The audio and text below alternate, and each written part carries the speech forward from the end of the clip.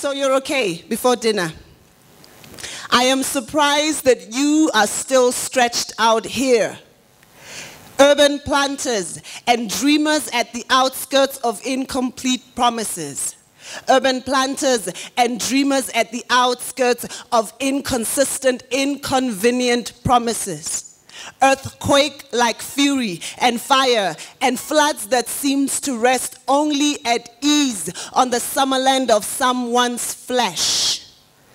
Your flesh child of nablus. Your flesh child of Jenin. Your flesh child of Ramallah. Your flesh child of Chazeh you the promised one. Wena onzakaleyo ndithi duduzeka wena othembisiweyo always the promised one. Always the promised one. So you can clap. I'm joking. That was a joke. So, so I was writing Palestine poems way before I went. Because growing up in South Africa in a township, you kind of knew that there were people who lived like you.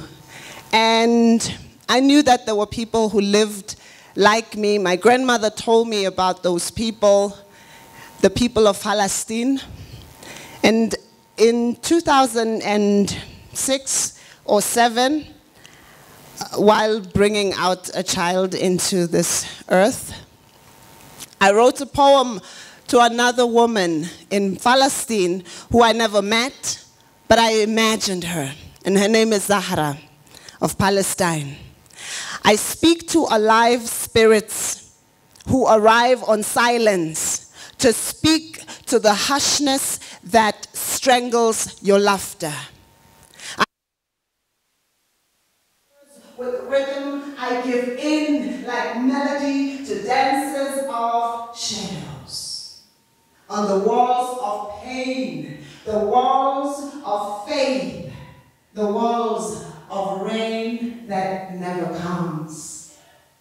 I speak to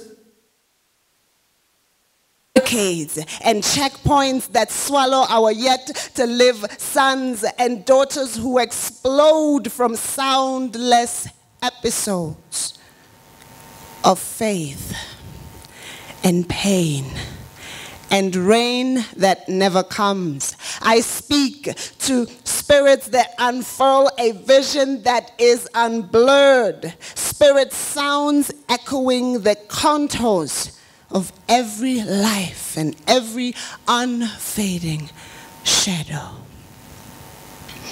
Okay, so ah, I, you didn't have to clap. Yes, good. I like it though. Sounds nice. So I'm about to leave the stage so that you can eat dinner. So in 2013, I was commissioned by the UN to write this poem for the International Day of Happiness.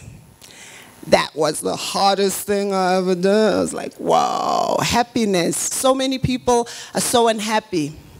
And I was just thinking about the children of Chazeh and how scared by the shelling and, you know, not knowing if mommy or daddy is coming home or if they are coming home, if somebody's going to shoot them in the head.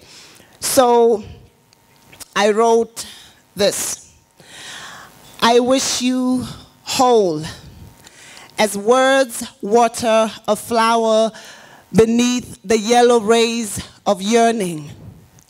Beyond the reach of growling pains, I wish you inviolable dreams, flourishing under a silent and attentive gaze of the moon.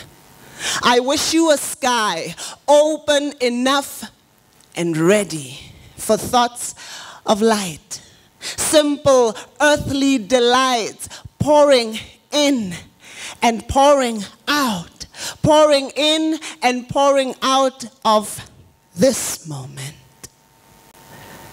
I wish you light, child of Hazel. I wish you inviolable dreams. I wish you alive, playing a game of cards in the unfolding pathway of unyielding wings. You, perhaps picking shells along the beach with your brother on the roof of your home feeding doves, and maybe one day fitting your wedding gown, laughing loud at your father's funny stories.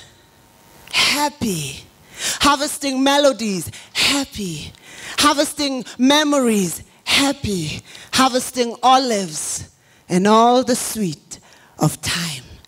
Thank you. Enjoy your dinner. So you can have your microphone.